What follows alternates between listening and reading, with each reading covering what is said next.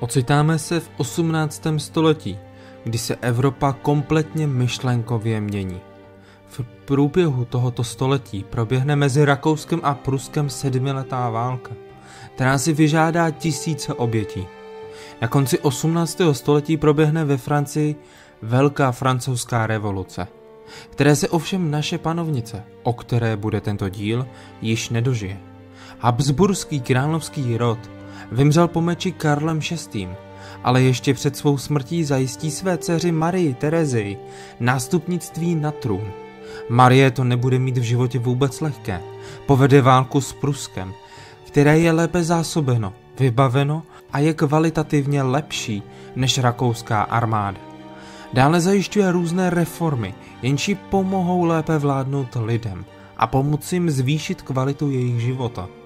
Zavádí také povinnou školní docházku nebo obnovuje dvorskou komoru či zlepšuje stav vojska, ale také udělá kompletní reformu v soudnictví v říši. To a mnohé další reformy zavádí a pozvolna nechává volnou ruku svému synovi Josefovi. Marie se vdá za Františka Štěpána, se kterým mají spolu 16 dětí. Bohužel jen 10 dětí se dožije dospělého věku. To a mnohé další zajímavosti či fakta si popovídáme v tomto videu. Vítá vás duchož historie a přeji vám příjemný zážitek z mého videa.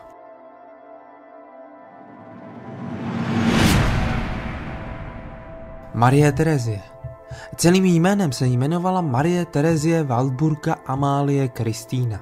Marie se narodila 13. května roku 1717 ve Vídni a umírá 29. listopadu 1780, opět ve Vídni. Pocházela z mocného rodu Habsburku, arcivévodkyně Rakouská, královna Uherská, královna Česká a markraběnka Moravská a tak dále. Těmito a mnoha dalšími tituly se honosila naše panovnice, která v té době zastávala funkci našeho krále. Byla jedinou vládnoucí ženou na českém trůně. Jejím manželem se 14. února roku 1736 stal František I. Štěpán Lotrinský. Přestože měla nástupnická práva zajištěna pragmatickou sankcí, kterou v předešlých letech uznala za cenu různých ústupků většina evropských mocností, bohužel po smrti otce Karla VI. byly její nároky a práva vládnout zemím jejího otce Karla VI. spochybněny, a to především ze strany Pruska a Francie. Hned od počátku její vlády byly vedeny války o rakouské dědictví, které přerostly v celoevropský konflikt. V této válce ztratila Slesko a pokus o jeho opětovné získání nebyl úspěšný ani v následující sedmileté válce. V návaznosti na vojenské konflikty přistoupila k řadě reform, které se později pojmenovaly po ní, takzvané tereziánské reformy, které se primárně týkaly armády a centralizace státní zprávy. K nejvýznamnějším reformám patří zavedení povinné školní docházky roku 1774. Zásahy do chodu Habsburské monarchie v duchu osvícenského absolutismu probíhaly v součinnosti s významnými osobnostmi z řad šlechty, jako byl například hrabě Bedřich Auschwitz nebo kníže Václav Antonín Kounic. V roce 1743 byla korunována na českou královnu a po několika dalších pobytech v Praze iniciovala rozsáhlou přestavbu Pražského hradu do jeho současné podoby. Se svým manželem měla celkem 16 dětí, z nich 6 zemřelo v dětském věku. Synové Josef II. a Leopold II. se postupně stali římskými císaři a z dcer se stala nejznámější nejmladší dcera Marie Antoineta. Jejíž sňatek s Ludvíkem XVI stvrdil spojenectví s Francií uzavřené již před sedmiletou válkou.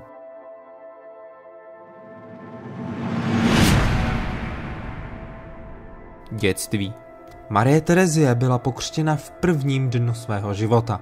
Byla nejstarší dcerou císaře v svaté říše římské Karla VI. a Alžběty Kristýny Brunšvické. Její jediný bratr Leopold zemřel ve věku necelých sedmi měsíců. V roce 1730 zemřela i její nejmladší, teprve šestiletá sestra Marie Amálie. V důsledku pragmatické sankce z roku 1713 byla Marie Terezie de facto předpokládanou dědičkou habsburských zemí. Od mládí ji vychovávali jezuité. Kromě hlavního předmětu, kterým bylo náboženství, se učila například dějinám, latině, francouzštině nebo němčině. Dále pak ještě například kreslení, tanci a nebo hudbě.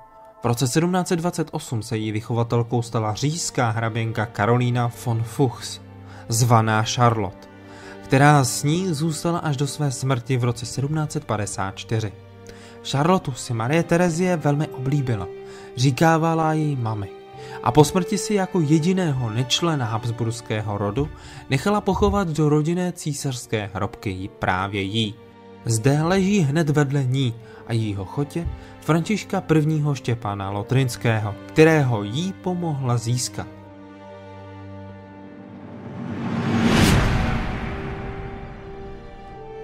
Manželství S Františkem Štěpánem se poprvé setkala již v šesti letech, kdy přicestoval ze svého hlavního města Nantes do Vídně. Její otec Karel VI. si jej i hned oblíbil, poněvadž v něm viděl syna, kterého mu osud odepřel. Snad největším problémem v počátcích vztahu mezi ní a Františkem Štěpánem byl věkový rozdíl 9 let. František Štěpán byl příliš velký na to, aby si s Marí Terezí hrál. Dalším problémem byl fakt, že by případné spojenectví mezi Habsburky a Lotrinčany popudilo Francii, která usilovala o kontrolu nad územím Lotrinska. Při úvahách Karla VI. za koho provdá svou nejstarší dceru a de facto následnici rakouského arcivévodského trůnu, hrála velkou roli předtucha, že se z jeho manželství pravděpodobně již nenarodí mužský následník habsburského rodu. Pro dynastická spojení přicházely v úvahu princové z vládnoucích rodů jako byly Wittelsbachové nebo ze španělského rodu Bourbonu. Karol VI. se navíc zavázal spojenému království Velké Británie a Irska, že svou dceru provdá pouze za prince s relativně malým mocenským postavením, což na druhou stranu nahrávalo Františkovi Štěpánovi. František se roku 1729 stal po smrti svého otce lotrinským vévodou, čehož se obávala Francie. Vše usnadnila válka o polské následnictví v letech 1733 až 35, v níž bojovalo Rakousko s Ruskem proti Francii a Španělsku. Vše nakonec dopadlo tak, že Rakousko získalo Parmu a Pienčeznu a naopak ztratilo Neapol a Sicílii. František Štepán ztratil Lotrinsko. Mladý František byl postupně jmenovan místodržitelem v Uhersku a v rakouském nizozemí a velel císařským vojskům ve válce proti Turkům. Díky ztratě Lotrinska a uznání pragmatické sankce Francii již nic nestálo v cestě svatbě Marie Terezie a Františka Štěpána Lotrinského. Navíc byla Marie Terezie do svého budoucího manžela až po uši zamilovaná. František Štěpán požádal Marii Terezi o roku dne 31. ledna 1736 a ten týžden byli ale od sebe odloučeni. Marie zůstala ve Vídni a František se přesunul do Prešpurku. Jak to vyžadovala etiketa. Svatba byla naplánovaná na 12. února roku 1736 v augustiánském kostele ve Vídni. Svatbu prováděl papejský nuncius Domenico Passione. Oba své ano řekli latinsky.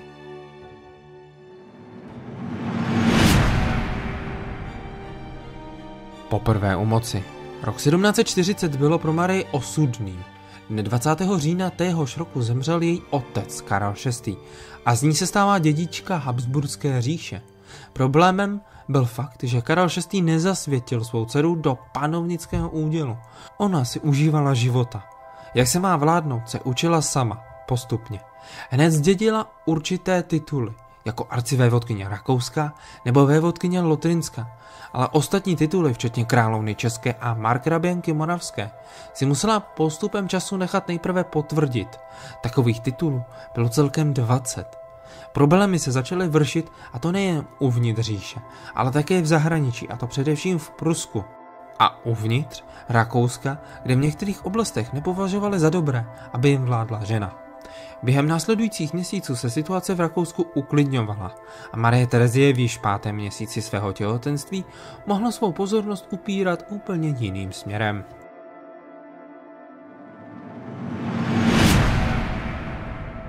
Boj o Habsburské území. Marie byla co by vládkyně jen pár dní a Prusko začalo svou expanzi nejprve diplomaticky.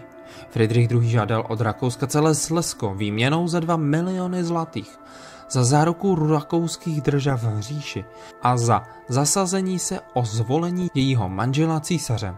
Tato nabídka byla pro Marii Terezi učiněna dne 15. listopadu roku 1740. Friedrich II. čekal na odpověď měsíc a jeden den. Dne 16. prosince roku 1740, když nedostal odpověď, obsadila pruská vojska postupně celé Slezsko a začaly války o rakouské dědictví. Marie na nic nečekala a vyslala přibližně 16 tisíc rakouských vojáků proti dvojnásobné přesile pruských vojáků. Obě armády se střetly 10. dubna 1741 u Maljovic a rakouská vojska byla na hlavu poražena. Hlavním důvodem neúspěchu byl fakt, že Karel VI. nevěnoval příliš pozornosti na zmodernizování své armády a také na pečlivou přípravu vojska. Dále bylo Rakousko zcela bez vojenských spojenců. Jediný, kdo stáli po boku Rakouska, byla Anglie, které Marii posílali finanční podporu. Bohužel v té době spíše Rakousko potřebovalo podporu vojenského charakteru, než jenom finančního. V době válek o Slesko Marie dne 13. března 1741 porodila syna Josefa. Neúspěch v bitvě u Maliovic se stal podbítkou pro ostatní nepřátelské strany, jako byla Francie, Španělsko, Bavorsko nebo dokonce Sasko, které se spojily s Pruskem. Jejich hlavním cílem bylo učinit z Rakouska slabý stát a rozporcovat si jeho území pro sebe. V červnu roku 1741 odcestovala Marie Terezie do Prešpurku, aby zjistila postoj Uher k pragmatické sankci, která zajišťovala dědičné právo pro ženské následovníky trůnu v Habsburské monarchii pod vládou Habsburků, včetně Uher, a také za podpoří Rakousko. Uherští páni se vyjádřili ve prospěch listiny, potvrdili svůj podpis a rozhodli se podpořit Rakousko dokonce i vojensky. Cenou ovšem byla větší samostatnost pro Uhry. Panovnice před říšským sněmem Maďarům potvrdila předešlá privilegia, osvobodila šlechtu od daní a rovněž potvrdila, co již slíbil Karel VI., že pokud zemřou potomci Karla VI., Josefa I. a Leopolda I., tak si Uhry budou moci zvolit vlastního krále. Pravděpodobnost, že by vymřeli tito následovníci, byla malá, jelikož Marie Terezie v té době měla už budoucího dědice trůnu, Josefa II.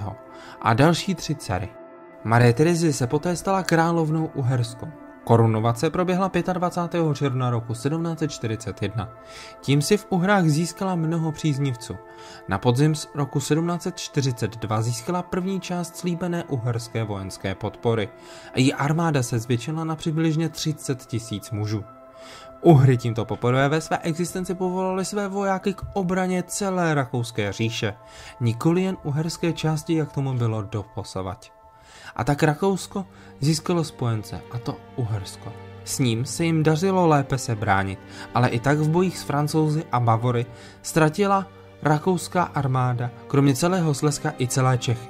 Postup byl zpomalen. Bavorský vévoda Karel Albrecht se prohlásil za českého krále a korunoval se dokonce i na římského císaře. Jak šly boje dál a vítěze se nedočkávaje, rozhodla se Anglie uspořádat ve Vratislavě mírová jednání mezi Pruskem a Rakouskem. 28. července roku 1742 byla v Berlíně podepsána konečná mírová dohoda. Prusko získalo horní i dolní Slesko a hrabství Kladské.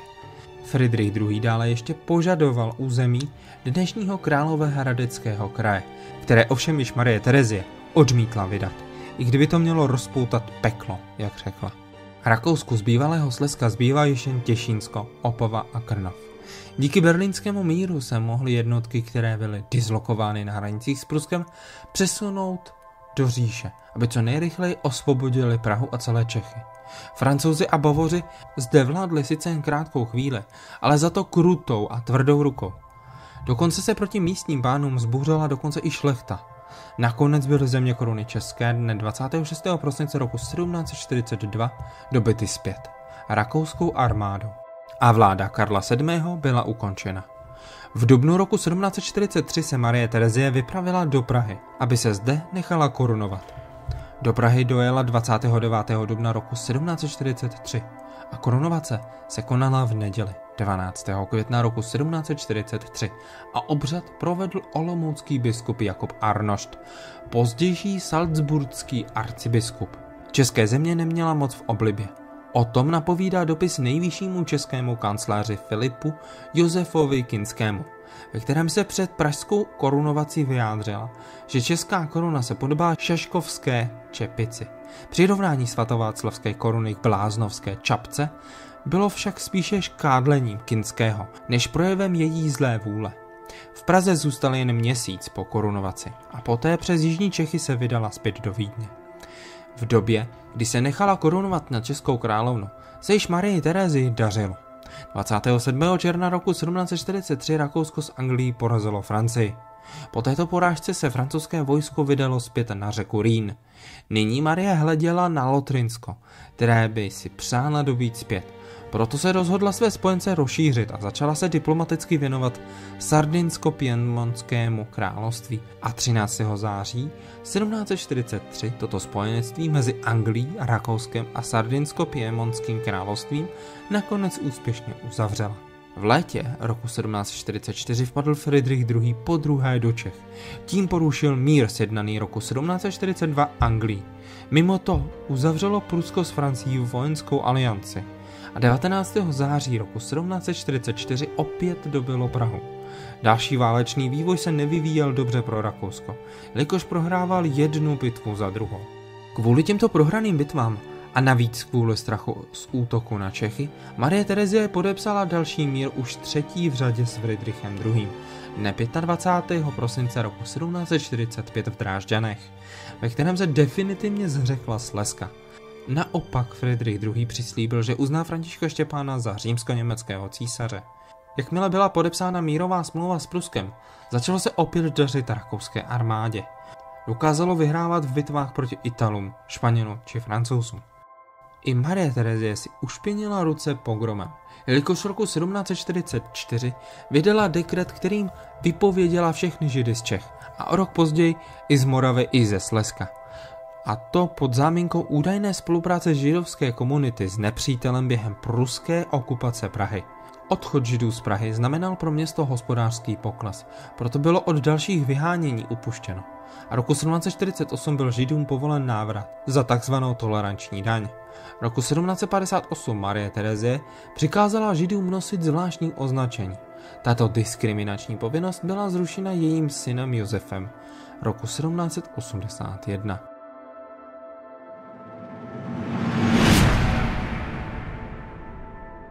Konec boju. V roce 1746 se k Rakousku a Anglii přidala Rusko. V Rusku vládla Alžběta I., která nastoupila na ruský trůn o rok později než Marie Terezie, se kterou měla společnou nechuť k Prusku. Z důvodu vzájemné vojenské podpory spolu tyto dvě evropské vládkyně se psali dne 2. června roku 1746 dohodu, ve které si Marie Terezie v případě napadení Pruskem dělá opětovný nárok na Slesko kterého se původně vzdala kvůli zachování míru ze dne 25. prosince roku 1745. Tehdejší Evropě a především Angličanům začínala docházet trpělivost neustálými válkami mezi Rakouskem, Francií a Pruskem. Navrhla Rakousku mírové podmínky.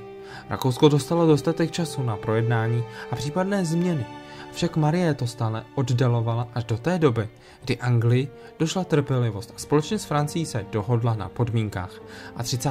dubna 1748 ji postavili před hotovou věc. Marie ztratila malá území a jedno velké, jím bylo Slesko. Ovšem dokázala si udržet vliv v severní Itálii. Dále se Marii Terezii povedlo díky této smlouvě že všechny bojující strany počínaje Pruskem a konče Anglií podepsali a potvrdili platnost pragmatické sankce. Tím skončila válka o rakouské dědictví, ve které až na ztrátu Slezska mladá Marie Terezie obstála. Se ztrátou Slezska se ovšem nehodlala smířit a hodlala si jej v budoucích válkách vzít zpět od Pruska. K tomu ale musela jednak naplnit státní pokladnu penězi a zároveň zmodernizovat armádu. Ke splnění obojího byly zapotřebí reformy, na které se Marie Terezie mohla konečně vrhnout.